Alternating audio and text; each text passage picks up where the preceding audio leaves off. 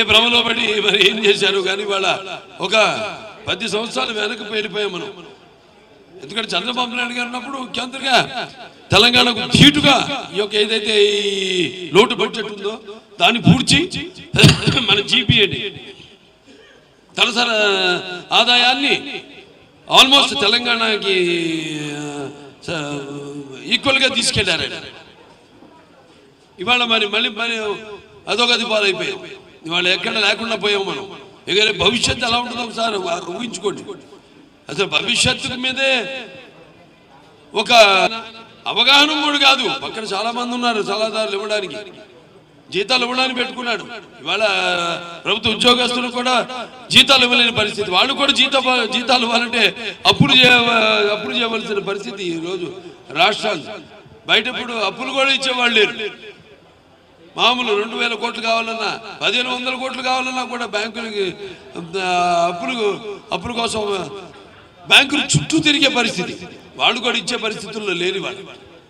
రాష్ట్ర అభివృద్ధిని చూసి ఏముంది అభివృద్ధి? అంత శూన్యం ఇక్కడ అభివృద్ధి. కాబట్టి ఇవాళ ప్రతి ఒక్కళ్ళు ఇవాళ ఇవాళ జనసేన సైనికులైతేనేమి ఇటు తెలుగుదేశం పార్టీ ఈ యొక్క కలయిక ఒక మంచి శుభ పరిమాణం పరిణామం. అలాగే రేపు ఇవాళ జనంలో కూడా చూస్తున్నాం మనం. వాళ్ళంతటికి వాళ్ళే స్వచ్ఛందంగా బయటకు వస్తున్నారు. ఎక్కడికి వెళ్ళినా కూడా వీళ్ళు వాళ్ళు పెట్టారు ఇవాళ ఏదో ఎస్సీ ఎస్టీ బీసీ ఏదో యాత్ర అని. ఇవాళ శ్రీకారం పెట్టారు. శ్రీకారం చుట్టారు. ఈ రోజే మొదలైంది గొడవ. పోస్టర్లేమో ఏమో పూలే గారు లేకపోతే అంబేద్కర్ గారు జగజీవనం గారు మన ఆజాద్ గారు వాళ్ళ బొమ్మలేమో కింద పెట్టి వాళ్ళ వాళ్ళ నాయకులు ఫోటోలు పైన పెట్టుకుని ఎంత ఈ యొక్క అపహాస్యపాలు చేస్తున్నారంటే అసలు ఇది మన దీనికే మన ఉనికికే ఒక ఆనాడు నేను చెప్పడం జరిగింది. ఏది? గౌతమ బుద్ధ శాతకర్ణిలో ఒకసారి మన ఉనుకును నిలుపుకున్నాం. చాటుకున్నాం కూడా మనం తెలుగు వాళ్ళం. కానీ ఇవాళ మళ్ళీ ఈ యొక్క అరాచకమైన ఈ అవినీతిలో కూరుకుపోయిన ఈ యొక్క ప్రభుత్వం ప్రక్షాళన చేయాలంటే ఓటు ఒక్కటే. ఓటే కాదు మీరంతా కూడా బట్ట బయలుగా బయటకు వచ్చి ఉద్యమించవలసిన సమయం ఆసన్నమైనది మిత్రమా? చెప్తున్నాను ఇప్పుడు.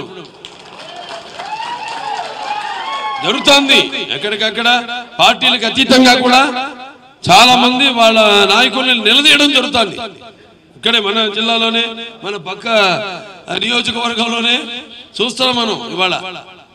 ఎంత స్ట్రాంగ్ ఉందో సోషల్ మీడియా కూడా. దాంట్లో అన్ని మనం చూస్తున్నాం. మీరు ప్రత్యక్షంగా చూస్తున్నారు ఇక్కడ ఉన్నాళ్ళు ఎలా ఆడిపోసుకుంటున్నారు నాయకులు వెళితే గడప గడపగాను అదను ఇదను ప్రోగ్రామ్స్ పెట్టుకుంటే ఎలా వెళ్ళి వాళ్ళు వాళ్ళని నిలదీస్తున్నారు జనం పార్టీలకు అతీతంగా? ఆ పార్టీ వాళ్ళైనా సరే మామూలు సామాన్య జనం అయినా సరే ఏ పార్టీకి సంబంధం లేని వాళ్ళైనా సరే వాళ్ళు ఏం చేస్తారు అక్కడ? తెలుగుదేశం పార్టీ వాళ్ళు నిలదీస్తున్నారా? జనసేన పార్టీ వాళ్ళు నిలదీస్తున్నారా? అని సామాన్య ప్రజలను కూడా పార్టీలు అంటగట్టి వాడు చేసుకుంటారు వాడు చేయిస్తున్నారు ఇవన్నీ అని అంటే అనే పరిస్థితిలో ఉన్నారు ఇవాళ. రేపు జరగబోయే ఈ యొక్క ఎన్నికల సంగ్రామంలో ఒకటే మన ఉనికికి ఇది ఇది ఒక పోరాటం. మనం ముందు ఇంకా ఒక తెలుగు వాళ్ళు అంటూ ఉన్నారా? అంటే అది ఈ యొక్క ఎన్నికల రణరంగం అయితే దాంట్లో ముఖ్యంగా మీరు ప్రతి ఒక్కరూ ఈ యొక్క బాధ్యతని ఈ యొక్క మీ బాధ్యత అలాగే ప్రజాస్వామ్య పౌరునిగా మీ హక్కు. మీ హక్కుల్ని మీరు కాలు రాసుకుంటారు నిర్ణయించుకోవాల్సింది మీరే. వాళ్ళ పరిస్థితులు చూస్తుంటే వాళ్ళకే భయం వేస్తుంది. రేపేంటి రేపు అంటే ఏ రకంగా? అంటే నేను అన్నాను.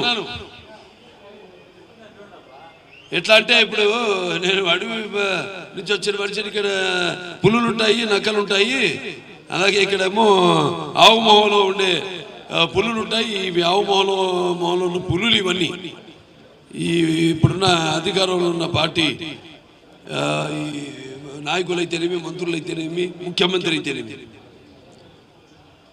అలాగే తోడుగా ఉంటే తోడేళ్ళు. వీళ్ళకి సలహాదారులు. చెప్పేది ఒకటే. అందరూ జనం భద్రం. జాగ్రత్తగా ఉండండి అందరూ. పోరాడతాం భద్రం అంటే మేము మేము మా సాయశక్తుల ఇవాళ మేము కలిసాం తెలుగుదేశం జనసేన. ఇంకెవరు వస్తారు? రండి పార్టీలు. ఇది- ఒక సమయం అటువంటిది. ఆసన్నమైంది. మనమంతా కూడా కలిసి మనం మనం ఏ మిషన్తో అయితే ఏ విషన్తో అయితే ముందు ఎలా ఉండాలి భవిష్యత్తు బంగారు భవిష్యత్తు అన్నది ఆ ఆలోచనతో ఏ దేవుడిచ్చిన బాధ్యత ఆ బాధ్యతతో మనం ఇవాళ మనం ధైర్యంగా ముందుకెళ్తున్నాము ఎన్నో అభద్ర భావానికి లో లోన్ చేస్తున్నారు ఈ ప్రభుత్వం. ఎంతో మందిని భయభ్రాంతులకు గురి చేస్తున్నారు. ఇవాళ భయపడే పరిస్థితుల్లో లేవు మనం. ఎందుకంటే సామాన్య ప్రజల్లో కూడా ఈ వ్యతిరేకత స్పష్టంగా గోచరిస్తుంది. కాబట్టి మనంతా కలిసి కలిసి కట్టుగా ఈ యొక్క యుద్ధాన్ని ఇక ఉద్యమం కాదు ఇది. ఇక యుద్ధమే. వీఆర్ రెడీ ఫర్ అటాక్ ఎవరిని ఉపేక్షించేది లేదు. ఎవరికే వేరే వాళ్ళకి మనం రక్షణగా ఉండి ఎవరైతే ముందుకు వస్తున్నారు వీధుల్లోకి ఎవరి మీద అయితే మళ్ళీ కేసులు వేస్తున్నారు భయభ్రాంతులకు గురి చేస్తారు వాళ్ళందరూ కూడా వాళ్ళు ప్రత్యక్ష దాంట్లో దెబ్బతిన్న వాళ్ళు. అన్ని విధాలుగా. ఆర్థికంగా సామాజికంగా రాజకీయంగా అన్ని విధాలుగా. సో అటువంటి పరిస్థితులు అందరం కూడా ఇక ముందుకెళ్ళాలి. ఇదే స్ఫూర్తితో. దీనికి మేము సామాన్య ప్రజలకు రక్షక భటుకులు భటులుగా ఉంటాం మేమంతా.